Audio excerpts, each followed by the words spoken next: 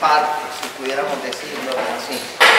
La primera parte, voy a, con preguntas muy sencillas, porque un taller es algo muy sencillo, no es ya ni una predicación ni el desarrollo de un tema, sino dar unos elementos muy sencillos sobre el tema. Eh, el primer, la primera pregunta que nos vamos a hacer es, ¿por qué predicar? ¿Por qué predicar? La segunda pregunta que nos vamos a hacer es, ¿qué, eh, la segunda pregunta que nos hacemos es, ¿qué es predicar? ¿Qué es predicar? Y la tercera pregunta, que a la vez la subdivido en tres, ¿cómo predicar? ¿Cómo predicar? Entonces la primera pregunta es, ¿por qué predicar? La segunda pregunta es, ¿qué es predicar? Y la tercera pregunta que vamos a desarrollar es, ¿cómo predicar? ¿Cómo predicar? Y en este tercer punto que voy a desarrollar es que les doy como los elementos prácticos sobre una predicación. Por supuesto que esos elementos prácticos y lo que yo digo, eh, cuando yo estuve preparando este taller ahora en mi congelada habitación, eh, eh, pues, pues comparto de lo, que yo vivo, lo que el Señor me ha regalado y les comparto a ustedes eso. En primer lugar, ¿por qué predicar? ¿Por qué nosotros predicamos? ¿Cuál es la motivación profunda para predicar? Yo diría como tres cosas. La primera, porque no hay otro nombre dado a los hombres sobre el cual pueda haber salvación. No hay otro nombre. Cuando uno lee, por ejemplo, la carta de los filipenses, capítulo 2, de los versículos 5 a 11, Filipenses 2, del 5 al 11, dice, tengan entre ustedes la misma manera de pensar que tuvo Cristo Jesús, el cual, aunque era de naturaleza divina, no insistió en ser igual a Dios, sino que hizo a un lado lo que le era propio. Y tomando naturaleza de siervo, nació como hombre, y al presentarse como hombre se humilló a sí mismo, y por obediencia fue a la muerte, a la vergonzosa muerte en la cruz. Por eso Dios le dio el más alto honor y el más excelente de todos los nombres, para que al nombre de Jesús doblen la rodilla todos los que están en los cielos y en la tierra y debajo de la tierra, y todos reconozcan que Jesucristo es el Señor para honra de Dios Padre. Palabra de Dios. Señor. Después, en el libro de los Hechos, que yo hice alusión a ese texto esta mañana, en el capítulo 4 del, del libro de los Hechos Apostólicos, cuando Pedro les explica por qué eh, sucedió esta sanación de- del, del paralítico de nacimiento, del cual les hablé anoche, en el capítulo 4 del libro de los Hechos Apostólicos, versículo 12, eh, dice así, este Jesús, la piedra que ustedes, los constructores, des- despreciaron, se ha convertido en la piedra angular. En ningún otro hay salvación, porque en todo el mundo Dios no nos ha dado otra persona por la cual podamos ser salvos. Palabra de Dios. No se nos ha dado otro nombre por el cual podamos ser salvos. ¿Por qué predicar? Porque cuando yo predico, estoy diciéndole a la gente que no hay otro nombre sobre el cual pueda haber salvación. Es decir, yo no le estoy enseñando a la gente cosas que no son importantes para su existencia. Cuando nosotros estamos predicando, no sé, no le enseña a uno cosas que no sean definitivas para su vida. Estamos enseñándole a la gente lo definitivo sobre su vida, lo definitivo sobre su existencia. Por eso el ministerio de la predicación es esencial. No le estamos enseñando a la gente. Uno puede aprender a conducir o no. Uno puede aprender a manejar una máquina o no. Uno tiene en el computador toda una serie de aplicaciones que nunca usa. Pero nosotros no le estamos enseñando a la gente algo que, que no es importante, algo accesorio para su vida. Nosotros le estamos enseñando a la gente algo que es determinante. Por eso predicar es tan importante. Le estamos enseñando a la gente que no hay otro nombre en el mundo sobre el cual hay salvación. Piensen ustedes que nosotros, los que predicamos, los sacerdotes, los laicos, le estamos enseñando a la gente lo que es fundamental para su salvación. Yo cuando tomo un micrófono pienso eso. Yo no le voy a enseñar a la gente aquí cómo, cómo pintar al óleo. Eso es muy importante, pero eso no determina la existencia. Yo no le voy a enseñar a la gente eh, sobre el clima. Bueno, el clima es importante, pero, pero para, es importante las predicciones sobre el clima porque uno dice, me pongo una chamarra, me pongo una jacket, me pongo eh, un suéter, me pongo... Pero no lo puedo cambiar. El clima no lo puedo cambiar. Pero cuando yo le estoy enseñando a la gente, ay, qué bueno, gracias. Cuando yo le estoy predicando a la gente, le estoy hablando que es fundamental para su existencia. Algo que puede cambiar su vida de por vida. Algo que puede cambiar su historia personal. El lema de la emisora Minuto de Dios, en la que, la que yo dirijo en Medellín, Colombia, es ese ayudamos a transformar vidas. Ese es nuestro lema. Estamos cumpliendo 20 años este año en esa emisora y el lema es 20 años ayudando a transformar vidas. De tal manera que cuando yo predico tengo que ser consciente de eso. En segundo lugar, eh, Predico porque es una continuación del ministerio público de Jesús. Jesús era un predicador. Era un predicador. Un predicador ambulante. Era uno que decía en el Evangelio, vamos a tal lugar porque allá tiene que llevar la buena nueva. Cuando trataron de retenerlo trataron de retenerlo. Eh, eh, eh, decía, tengo que ir a otros lugares anunciar la buena nueva. Tengo que ir a otros lugares a anunciar la buena nueva. Jesús era un predicador. San Juan Eudes, el fundador de mi congregación, de los eudistas, la comunidad a la que yo pertenezco, dice que la vida del cristiano es una continuación de la vida de Jesucristo. Que la vida mía es una continuación. Y cuando ustedes y yo predicamos, ¿qué estamos haciendo? Estamos continuando la vida de Jesucristo. Él era un predicador. Él era uno que iba de pueblo en pueblo, de lugar en lugar, en los lugares públicos lo vemos predicando en la calle, en el templo, lo vemos predicando en la sinagoga, en las casas, en las familias.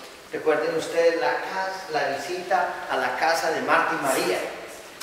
Es decir, en lo público, en lo privado, en lo íntimo, en, el lugar eh, religioso, en el lugar de la fiesta. ¿Recuerdan ustedes la boda de Caná?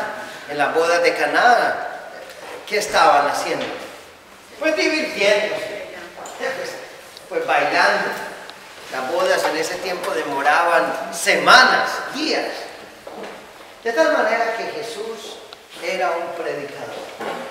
Y cuando yo predico, cuando usted predica, está continuando el ejercicio del ministerio público de Jesús, que era un predicador.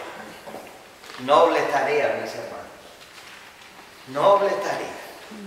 No estamos haciendo cualquier cosa. Estamos continuando el ministerio público de Jesús de la predicación.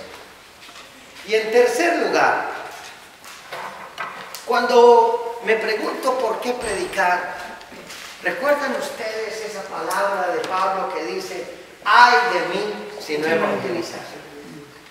Ay de mí si no evangelizar. Y Pablo dice, para mí no es motivo de orgullo evangelizar. Tomémoslo de. Para mí no es motivo de orgullo predicar. Es algo que se me impone. Es una obligación. Es una obligación. El fundador de mi comunidad del Minuto de Dios nos dice, si te invitan a predicar y no tienes otro compromiso, y no tienes un impedimento personal, o sea, que estés enfermo, que haya quizás una dificultad en tu casa, no te puedes negar. Y cuando a mí me invitan a predicar, yo miro mi agenda. Y si no tengo otro compromiso, o no tengo un impedimento personal, o no tengo una responsabilidad en la comunidad, yo no puedo quedarme pensando, es que este fin de semana me voy a descansar. No tengo derecho, para mí, no tengo derecho. El tiempo apremia, hermanos. El tiempo apremia. La vida es muy corta. La gente dice, la vida es muy corta y se dedican a comprar autos, a comprar ropa, a hacer un montón de cosas. La vida es muy corta, hermanos. Y tal vez no nos va a alcanzar para enseñarle a la gente lo bello y lo bonito que nosotros hemos vivido de Dios, lo hermoso que hemos vivido de Dios. Entonces para mí evangelizar no es una opción. Para mí predicar no es una opción. Es algo que se me impone. Es una obligación. Entonces cuando yo me pregunto, ¿por qué predicar? Hay tres respuestas. Primera, porque no hay otro nombre dado a los hombres sobre el cual pueda haber salvación. Segunda, porque es la continuación del ministerio público de Jesús. Tercera, porque predicar para mí, como lo decía Pablo de la evangelización, no es una opción, es una obligación.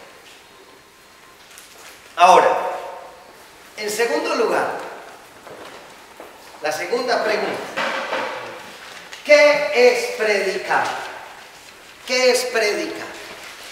¿Qué es predicar? Aquí les voy a decir a ustedes ideas, ideas de lo que es predicar. En primer lugar, predicar es transmitir la buena nueva de Jesucristo. Y quiero insistirles en esto, hermanos. Es la transmisión de una buena noticia. Y a veces nosotros hemos insistido mucho en la mala noticia. Yo les contaba a ustedes esta mañana o anoche, no recuerdo, que un amigo mío, un joven del barrio, fue a un retiro y en ese retiro le pregunto cómo le fue y dice, uno se siente muy pecador. Hmm. Yo decía, pero ese es un buen anuncio. La insistencia en lo negativo la insistencia en el pecado, la buena nueva de Jesús. Predicar es anunciar la buena noticia. una buena noticia. Una buena noticia. Y creo que lo bonito de la renovación es que anuncia una buena noticia. Eso es lo bonito de la renovación. La renovación anuncia una buena noticia, el amor de Dios. Sí, también hablamos del pecado, por supuesto, pero hablamos del pecado para hablar de la salvación, de la vida nueva, de la conversión, del don del Espíritu. Entonces, mis hermanos, predicar es anunciar una buena noticia. En segundo lugar, predicar es hacer hablar a Dios. Hacer hablar a Dios. ¿Piensan ustedes lo que eso significa? Que cuando uno está predicando, está haciendo hablar a Dios. Claro, a través de la mediación humana. No es que Dios habla, no, no es que viene y me posee Dios, como algunos videntes que vienen y, hablan eh, y toman un tono de voz y una vocecita. ¿Por qué? ¿Por qué cuando van a transmitir mensajes de Dios no hablan con naturalidad? ¿Por qué tienen que hablar tan raro, tan, tan postizo? Predicar es hacer hablar a Dios es hacer hablar a Dios. A través de mi predicación habla Dios. Tremendo, hermanos. Piensen eso, que a través de la predicación de nosotros habla Dios. ¿Qué opinan ustedes? Qué responsabilidad. Qué cosa tan tremenda. A través de mi predicación habla Dios. Piensen eso. A través, yo soy como un vocero de Dios, como un representante de Dios, como un embajador de Dios. Y Pablo mismo dice, ¿no saben ustedes que son embajadores de Cristo? Dice Pablo, somos embajadores de Cristo. Es decir, nosotros somos la representación diplomática de Cristo. Nosotros lo representamos. Cuando estamos predicando, hacemos hablar a Dios. Tercero, predicar es ayudar a difundir el mensaje de Jesús. Y el mensaje de Jesús era el reino de Dios.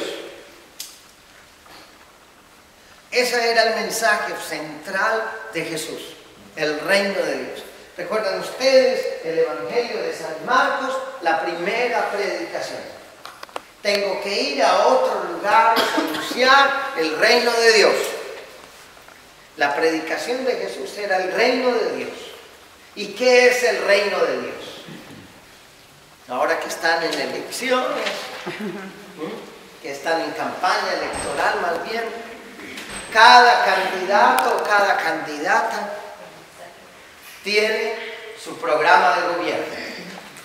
Y este es nuestro programa de gobierno, que la educación, que los subsidios, que la educación, que la salud, que yo no sé qué. ¿Y qué es el reino de Dios? El programa de gobierno de Dios. Ese es el reino de Dios la plataforma de Dios. La forma como Dios quiere que vivamos. El reino de Dios es la instauración de Dios en el corazón. ¿Qué es predicar? Es difundir el reino de Dios. No es otra cosa. Predicar es difundir el reino de Dios. Extender el reino de Dios extender el reino de Dios.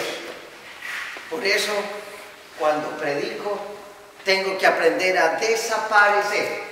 Más adelante les voy a hablar cuando ya hablamos de las características de la predicación. ¿Recuerdan ustedes el Evangelio de San Juan? En el capítulo 3, 2, no recuerdo, versículo 30. Él ha de ir aumentando y yo disminuyendo. Creo que es 2.30. No recuerdo. Evangelio de San Juan, capítulo 3, versículo 30. Él ha de ir aumentando en importancia y yo disminuyendo. Capítulo 3, versículo 30 del Evangelio de San Juan. Que Él aumente y que yo disminuya. Que Él crezca y que yo decrezca. Que Él se vuelva grande y yo me vuelva pequeño. Porque la predicación es el anuncio del reino. No se les olvide. Uno cuando predica no se anuncia a sí mismo. Uno cuando predica no anuncia proyectos personales. Uno cuando predica anuncia el reino de Dios, el proyecto de Jesús. Y eso sí lo debemos tener muy claro, porque predicar es anunciar ese reino.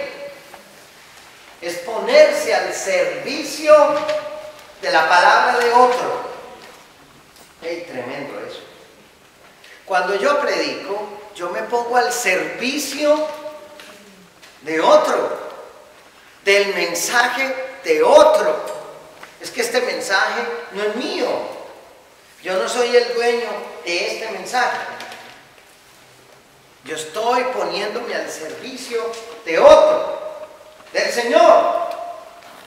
Por lo tanto, cuando yo predico, estoy extendiendo el reino de Dios.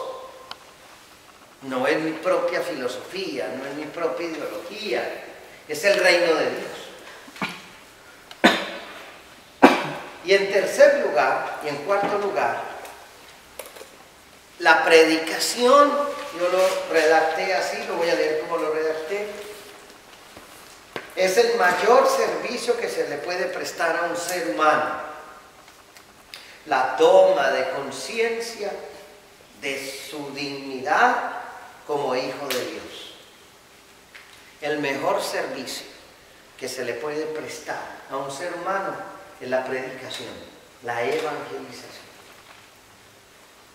El Papa Pablo VI, en un documento que yo creo que todos nosotros ya lo debimos haber leído, un documento que tiene sus añitos, pero que sigue siendo de una, de una actualidad tremenda lo que se llama el anuncio del Evangelio en el mundo de hoy, el Evangelio Anunciante. Texto que nosotros debemos leer, estudiar y conocer. Dice, la iglesia existe para evangelizar. La iglesia no existe como un poder humano. La iglesia existe para evangelizar. Pero dice también ahí, el mayor servicio que se le puede prestar a un ser humano es la evangelización. Y yo lo tomo así. El mayor servicio que se le puede prestar a un ser humano es la predicación. Evangelizar, predicar, es ayudar a las personas a tomar conciencia de su dignidad como personas, como hijos de Dios. Eso es predicar. De tal manera que cuando usted y yo estamos predicando, le estamos prestando a las personas el servicio más importante que se le pueda prestar. Ayudando a tomar conciencia de su dignidad como personas. Yo recuerdo con tanto cariño una vez que yo estaba predicando un retiro de seminario de vida en el Espíritu. Y a mí me tocó la primera enseñanza sobre el amor de Dios. A mí me encanta esa enseñanza. Me parece de las más bellas. Y para mí, hermanos, el mejor regalo que Dios le ha dado a la renovación carismática para evangelizar se llama Seminario de Vida en el Espíritu. Ese es el mejor regalo que Dios le ha dado a la renovación carismática. El padre Navarro, que fue uno de los promotores de la renovación carismática, de los misioneros del Espíritu Santo en México, después sacó un proyecto misionero que se llama Cine, que se aplica en muchas diócesis de América Latina. Pero el cine lo inventó el padre Alfonso Navarro, después de haber estado en la renovación, porque él fue uno de los promotores de la renovación. Pero cuando uno analiza el cine, casi que el cine es renovación carismática sin bautismo en el Espíritu Santo. Y el gran éxito de la renovación carismática y el gran éxito del seminario de vida en el Espíritu es el bautismo en el Espíritu Santo. La gran riqueza que Dios le ha dado a la renovación carismática para la espiritualidad del mundo de hoy se llama bautismo en el Espíritu Santo. Ahorita les, les hablo de eso, pero les estaba contando que en ese seminario de vida en el Espíritu yo hablé del amor de Dios. Y esa enseñanza que hace que la gente descubra que es amada por Dios, que es querida por Dios. Así en la parte de atrás, yo recuerdo que había una morena, una morena, o negra, porque en mi país le decimos, había una negra ahí. Y resulta que la negra lloraba y lloraba y lloraba y lloraba. Se terminó el seminario. Y otro día llegó la negra con una sonrisa normal, distinta, como se fue y como volvió. Y claro, yo me le acerqué y le dije, mira, ayer, le dije, negra, ayer estaba llorando y hoy estás con una risa en los labios. ¿Qué te pasó? Y me dice, padre, es que en el seminario y en el espíritu Usted me dijo que yo era hija de Dios, que no me podía dejar de respetar, porque yo soy hija de Dios. Y recordé que yo llevo 15, 20 años, ya no recuerdo, de casada, y que he sido maltratada toda la vida. Toda la vida mi esposo me pegó, me maltrató, me, me golpeaba. Ah, la insultó, la mantiene en el suelo, era como una escoba de barrio. Pero cuando ella escuchó que era hija de Dios, ella dijo, yo no puedo seguir en eso. Ella se fue para su casa. Llegó su esposo, como siempre, el negro, y él se llegó de su trabajo, se sentó en su silla, prendió el televisor y le dijo, estaba viendo un partido de béisbol. Y entonces le dijo a ella, mujer, tráeme la cerveza. Le dijo, yo no voy a traerle más la cerveza. Pensó para ella, porque yo no soy su sirvienta, soy su esposa, no su esclava, porque soy hija de Dios. Mujer, tráeme la, cerveza la, cerveza. Nada. El hombre se paró, enfurecido, fue a la cocina y la fue a golpear, como lo hacía siempre. Y ella levantó su dedo y le dijo, quieto, quieto, tú no me puedes tocar, porque yo soy hija de Dios. Yo no soy tu sirvienta, yo no soy tu esclava. Yo soy hija de Dios. Y me dijo, padre, desde anoche lo tengo quieto en primero. El hombre estaba viendo béisbol. Y le digo, lo tengo quieto desde anoche en primera hora. No me golpeó. Y yo decía, el mejor servicio que uno le puede prestar a una persona es la predicación. Porque es devolverle a la persona la conciencia de su dignidad Soy hijo de Dios y como yo les decía ahora, ni soy menos ni soy más. A mí no me hace valioso el lugar donde vivo, en el lugar más elegante de la ciudad, ni me hace valioso el color de la piel, si soy blanco o negro. A mí no me hace valioso si soy europeo o soy un indio patirrajado de, los Alpes o de, o de la selva colombiana. Eso no es lo que me hace digno. Mi dignidad no me la dan los convencionalismos humanos. Mi dignidad me la da el ser hijo de Dios. Y cuando yo predico, le estoy ayudando a la gente a tomar conciencia de esa dignidad. Atención. Por eso, predicar es el mejor servicio que yo le pueda prestar a una persona. Es ayudarle a esa persona a tomar conciencia de quién es. Ayudarle a liberar y a soltar cadenas ayudarle a romper con ataduras. Por eso la predicación es tan importante. Es tan importante. Por eso yo siento que cuando uno predica, le está prestando a la gente el mejor servicio.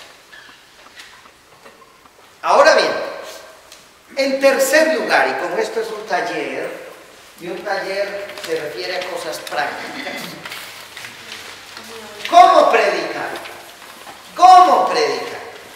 Y yo le voy a hablar a usted en ese punto de tres cosas. ¿Cómo predicar? Pusieron aquí algo, pero esto está aquí. ¿Cómo predicar? Yo diría, hay tres cosas que hay que tener en cuenta para predicar. Primero, una preparación remota. Segundo, una preparación continua. Tercero, una preparación inmediata. Primero, una predicación remota. Segundo, una predicación, una preparación continua. Y tercero, una preparación inmediata. Hablemos de la preparación remota. Hablemos de la preparación remota. Hay que tener una experiencia de conversión. Yo, yo no sé padre si tú estarás de acuerdo con eso, pero mi congregación se dedica a la formación de los sacerdotes. Es uno de los carismas que tiene mi congregación. Y a veces, a veces, cuando, y yo fui formador en los seminarios, estuve en dos seminarios, fui formador y di filosofía y teología y di filosofía contemporánea y los presocráticos y bueno. Pero ellos nos decían, ¿por qué nuestros seminaristas y los sacerdotes no tienen una fuerza de predicación. ¿Por qué a veces, por qué a veces se identifica más como predicadores a los pastores protestantes que a los sacerdotes? ¿Por qué? Nosotros los formadores en el seminario nos preguntábamos eso. ¿Por qué nuestros seminaristas no son predicadores? Y discutíamos mucho sobre eso. En los seminarios casi no se da predicación. No le enseñan a uno a predicar. Pero decíamos, tal vez nosotros no hemos insistido en una profunda experiencia de conversión. En una conversión transformante. Miren, una persona llega a la renovación carismática. ¿Y qué dice en su lenguaje? Mire, hermano, yo estoy seguro que a la mayoría de ustedes les pregunto, el día en que ustedes conocieron a Jesucristo y lo recuerdan. Sí. Yo recuerdo, yo recuerdo el día que yo fui por primera vez a un grupo de oración y ese día mi vida se partió en dos. El 15 de abril de 1977. Ese día la mayoría de ustedes no habían nacido.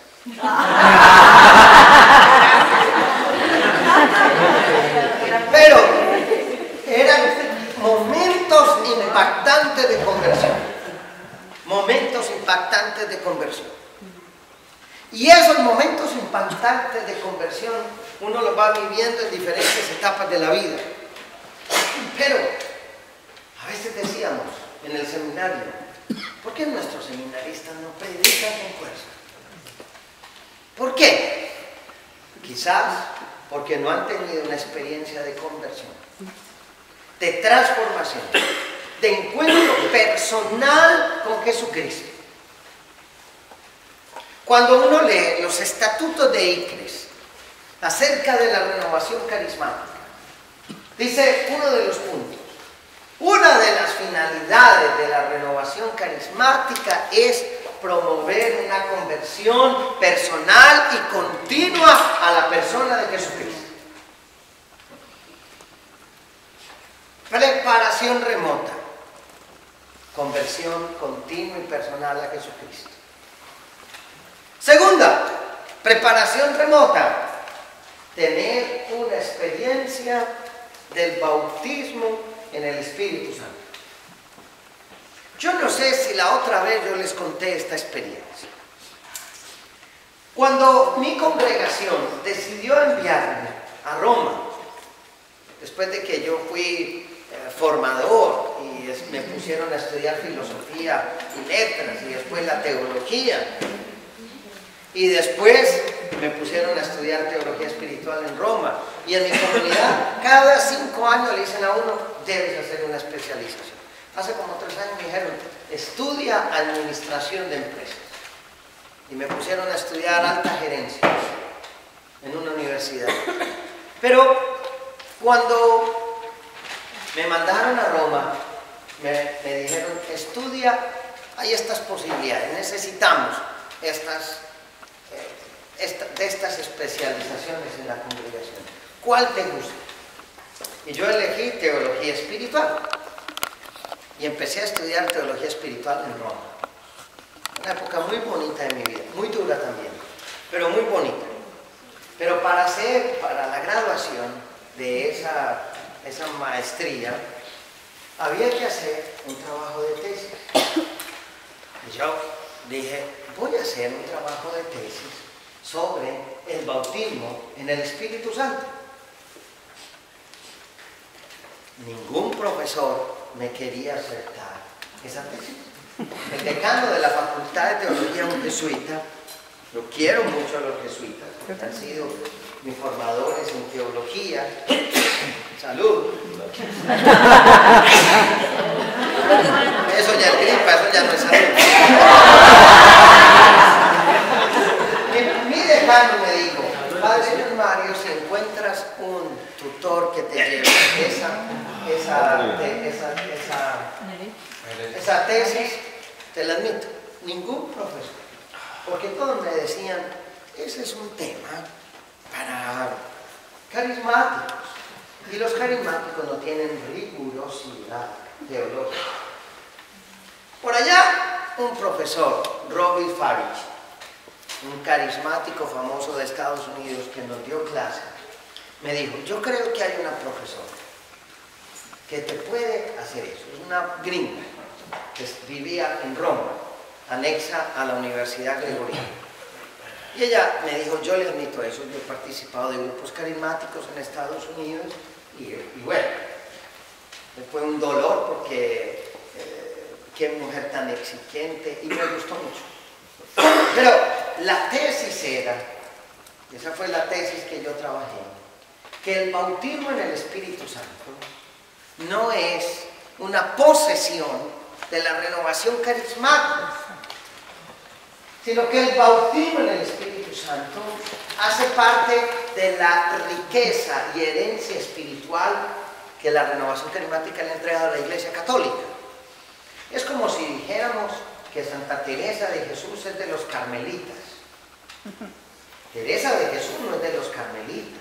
Ella fue carmelita, ella reformó el Carmelo, pero la espiritualidad de Teresa de Jesús es de la iglesia, por es doctora de la iglesia. Como, digámoslo, Francisco de Asís. Francisco de Asís no es propiedad de los franciscanos, es propiedad de la iglesia. Y el bautismo en el Espíritu Santo no es propiedad de los carismáticos. Yo creo que el bautismo en el Espíritu Santo es propiedad de la iglesia. Y nosotros deberíamos hacer que toda la iglesia viviera un gran bautismo en el Espíritu Santo. Y dentro de las características o preparación remota para una predicación, yo creo que tiene que haber una experiencia de bautismo en el Espíritu Santo. Pero además, en esa preparación remota, tiene que haber una preparación académica, intelectual. Intelectual. Hay que, hay que saber leer. Hay que leer. Predicador tiene que ser una persona que se forme. Tiene que ser una persona que, que haga su primaria, su bachillerato, en cuanto sea posible que esté madurando intelectualmente. Tiene que haber una preparación. Cuando yo hablaba esta mañana, ayer, creo que esta mañana, los grandes predicadores de la renovación carismática, para mí, para mí, algunos, el padre Tom Forrest, redentorista de la parroquia Aguas Buenas de Puerto Rico. Él estuvo una vez aquí, vi por ahí. Yo, cuando escucho a ese hombre, yo digo, así tuvo que haber predicado San Pablo. Pienso. El padre Diego Jaramillo, eudista del Minuto de Dios, colombiano. El padre Tom Forrest es norteamericano. Tom Forrest. El padre Diego Jaramillo. Monseñor Alfonso Uribe Jaramillo. El padre Salvador Carrillo. El padre eh, Osvaldo Cuadro. El jesuita de aquí. Carlos Aldunati, por ejemplo, en sus libros. El padre Benigno Juanes, jesuita de República Dominicana. Bueno, todos los que usted quiera. Uno descubre que todos esos grandes predicadores de la renovación carismática han sido grandes estudiosos. Dios le ha dado el carisma de predicación a sacerdotes en la renovación que eran el padre Salvador Carrillo, un estudioso bíblico impresionante, y siga. Una preparación intelectual adecuada. Una preparación remota, digo yo, el descubrimiento de un carisma personal. Y mira, y en esto yo te diría que hay que tener en cuenta dos cosas. Una, un gran principio de realidad y, una, y un descubrimiento del, y un descubrimiento del discernimiento de la comunidad. ¿Me explico? Hay gente que le dice a uno, ah, hablo principio de realidad. Uno tiene que saber para qué es bueno y para qué no es bueno. Hay gente que le dice a uno, padre, yo tengo el don de predicar. Ah, pues predica. Y predica y todo el mundo se le duerme. Yo no. No tienes el don de predicación, tienes el de dormición. Ahora para que la gente se duerma. Uno tiene que ser realista. Uno tiene que ser realista. El hecho de que yo eh, tenga deseos de predicar no quiere decir que tenga el carisma de predicar. ¿Y cómo sé yo entonces que tengo el don de predicar? ¿Cómo lo sé? La comunidad lo discierne. No soy yo, es la comunidad. La comunidad lo discierne. Porque es la comunidad la que te comienza a decir, oye, te escuché predicar, me gusta. Y los líderes de la comunidad te comienzan a decir, oye, lo haces bien. Está bien. La comunidad es fundamental para el discernimiento de todo carisma. Ay, Padre, a mí me gusta tanto cantar. Y yo le digo, pues a mí también, hermanita. Pero eso no quiere decir que cante bien. Son dos cosas distintas. Ay, Padre, es que a mí me gusta tanto orar por sanación. Pues qué bueno, qué bueno tener el don de sanación. Pero no todo el mundo lo tiene. Y uno tiene que tener principio de realidad, pero uno tiene que tener discernimiento comunitario. Y principio de realidad es, mi hermano, si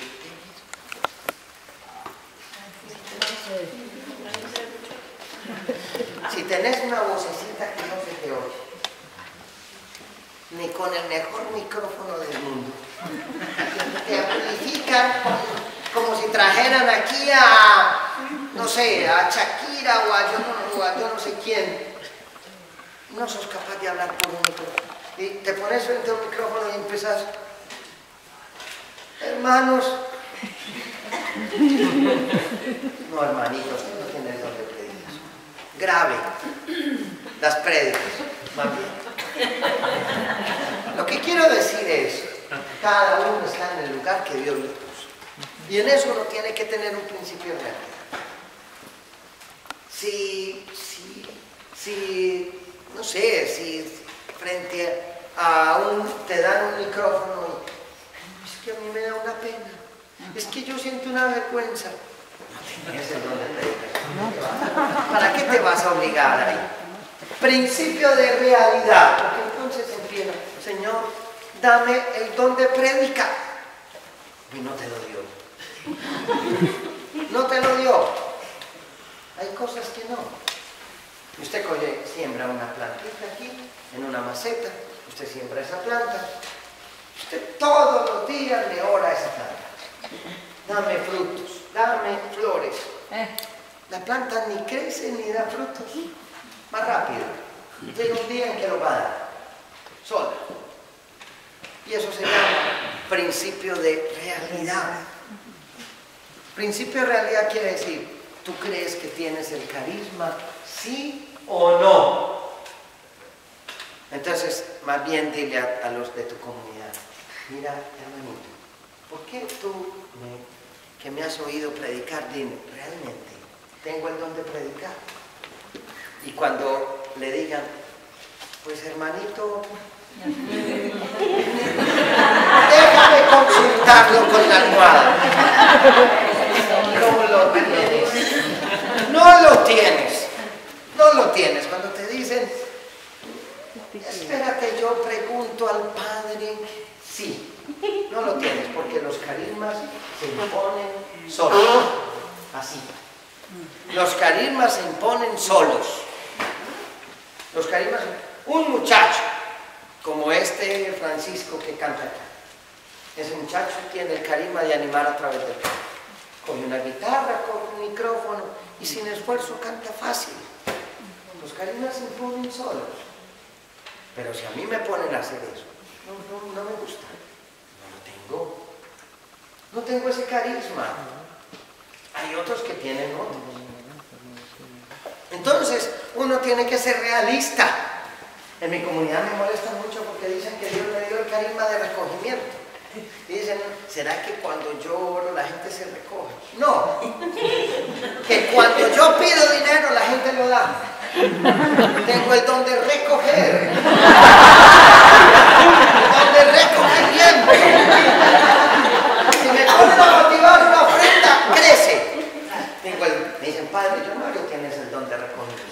gente piensa que es que tengo el don de que la gente... No, tengo el don de que la gente la suelta en los bolsillos, de recogimiento.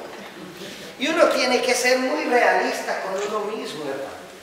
Uno tiene que ser realista. No es lo que tú quieras, sino lo que Dios te ha dado, a través de las habilidades personales, a través de la característica de tu personalidad. Bueno, hablando de en la preparación, hablamos de una preparación remota. Pero hablamos de una preparación continua, que sería el segundo punto. ¿Me están siguiendo el esquemita? Sí. Estamos hablando del tercer punto, preparación. Preparación remota y luego preparación continua. Y hablando de una preparación continua, hablamos de, primero hermanos, hay que tener una, hay que tener una formación intelectual continua. Un predicador tiene que estar siempre leyendo, estudiando, reflexionando. Acaba de sacar el Papa la, encíclica sobre la, fe, la luz de la fe. Tengo que estar leyendo. Tengo que estar mirando qué hay de nuevo en la librería, qué hay de nuevo en la librería de la renovación y voy a Paulinas y voy a San Pablo, ¿qué hay de nuevo? Y me, voy a las librerías eh, privadas y miro también qué hay de nuevo. Tengo que estar siempre preparándome. Pero esa preparación continua, mis hermanos, significa que uno a veces tiene que hacer altos en el camino. Es decir, cuando yo llevaba como como siete años de sacerdote, mi congregación me dijo, haz un alto en el camino. Vete a estudiar a Europa y bueno, haz un alto en el camino. A mí me dio muy duro, porque era secretario del Consejo Latinoamericano de la Renovación, era el asesor nacional de la renovación carismática en ese tiempo, dirigía la radio, dirigía la televisión, era un ministerio fructífero. Y en mi congregación, mi superior me dijo, debes irte a estudiar. ¿Y por qué le dije yo? Si creo que mi ministerio está creciendo. Y él me dijo, precisamente por eso. Porque tienes que darle más peso y solidez a tu ministerio. Yo dije, me estará diciendo que soy muy superficial o qué. Pero tienes que darle a tu ministerio, al carisma que Dios te ha dado, más profundidad. Y yo creo que en eso a veces los carismáticos adolescentes no preparamos, no, no estudiamos. Los carismáticos, el Espíritu Santo me dirá, el Espíritu Santo me inspirará, el Espíritu sopla, sopla. Y entonces eso es muy peligroso. Tiene que haber una preparación continua, una lectura continua. Un predicador siempre debe tener un librito en la mesa de noche. Siempre. O dos. O dos o tres, los que...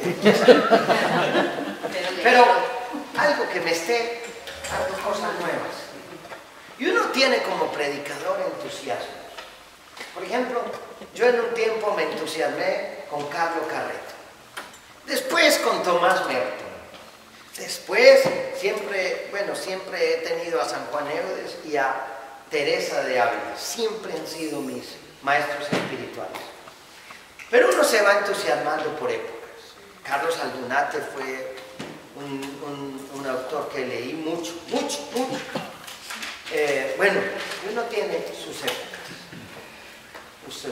sus, entusiasmos. Y cuando uno está entusiasmado con un autor, aprovecha. Ahorita hay un autor, se llama Hansel Bloom. después se los escribo, pero es un psicoterapeuta católico tremendo, un hombre. Pero uno tiene sus entusiasmos, uno tiene, hay que estar leyendo. Pero además de esa preparación continua de cursos, de retiros, porque nos pasa lo que a veces nos pasa a los sacerdotes, o los que llevamos mucho tiempo en la renovación. Voy a leer sobre Jesús camina sobre el agua. Ah, ya me lo sé. Y uno dice, ya me, me lo sé de memoria. Y eso es muy peligroso. Entonces, yo creo que además un predicador debe ser, debe ser una persona que se forma intelectualmente, pero debe ser una persona con una capacidad de leer la realidad. Una vez le preguntaron, creo que fue a un, a un teólogo, von alemán, que cuáles eran sus dos fuentes de inspiración para predicar. Y él dijo, la Biblia y el periódico. Uno le escucha a ciertos carismáticos decir, oye, ¿tú ves noticias? Y le dice, padre, yo nunca veo noticias.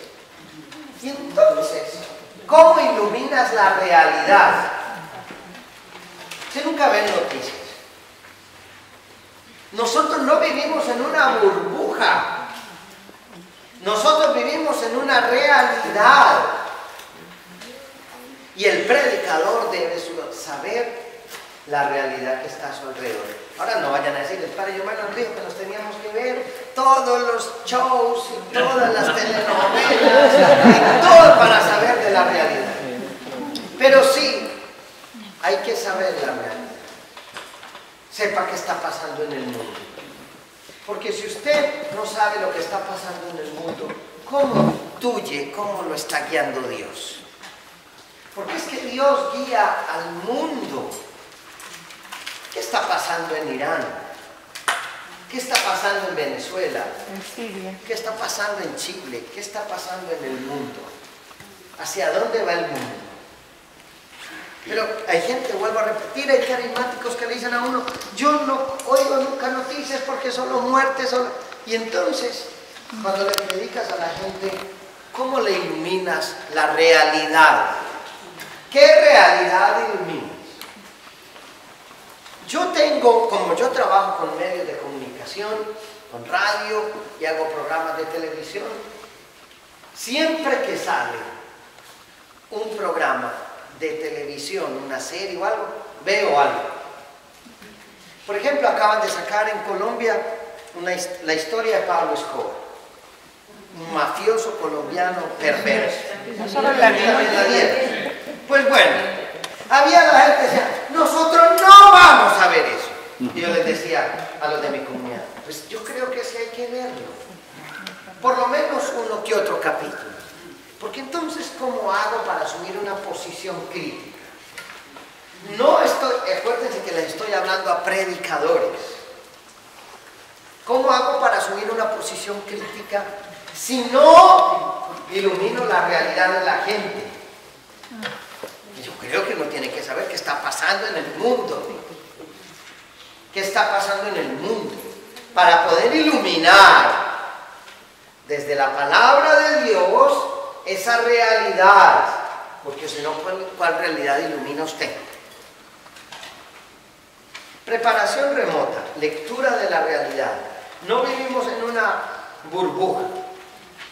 Y una sensibilidad ante los acontecimientos de Dios en la historia. Un predicador es una persona que sabe que Dios actúa en la historia. Escúchenme, actúa en la historia. El Dios de nosotros es un Dios histórico. El Dios de nosotros es un Dios histórico. Actúa en la historia, se revela en la historia. Jesucristo fue un Mesías histórico. Es todavía el Mesías, por supuesto el Dios de nosotros se encarnó. El Dios de nosotros se encarnó, asumió nuestra realidad. Porque ahí uno les escucha a algunas personas decir todo lo humano es malo, todo lo humano es pecador. Si lo humano fuera humano, fuera tan malo, el Dios de nosotros no se hubiera encarnado. Entonces, en esa preparación continua, en esa preparación continua hay que leer, hay que estudiar, hay que reflexionar, hay que dejarse impactar por la realidad. Hay que ser sensible, un predicador tiene que ser sensible al dolor del pueblo. Yo no sé, hay que desarrollar. Yo tengo una asamblea los jueves, van como mil personas, eso es una cosa tremenda. Pero cuando yo preparo yo preparo mi predicación y preparo mi tema, pero muchas veces